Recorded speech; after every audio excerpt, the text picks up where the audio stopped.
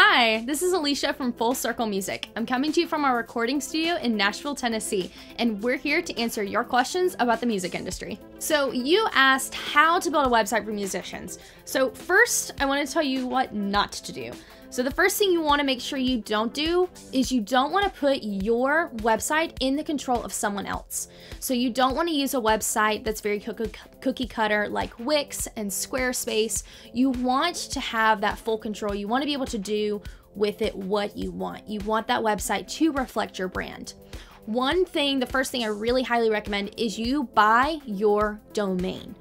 Now, normally domains are only about $12 a year. You can totally afford a dollar a month and do that and then put it on a hosting provider. And then you're gonna wanna build your website through something like WordPress, which is my favorite because of the templates and the plugins and the abilities that it gives you. Now, this entire process might seem a little daunting when you're starting out, but it's super easy when you have someone by your side to help you out. And we have a resource just for you. It's gonna be in the description below, so click that link and we'll help you out there. Thanks for watching.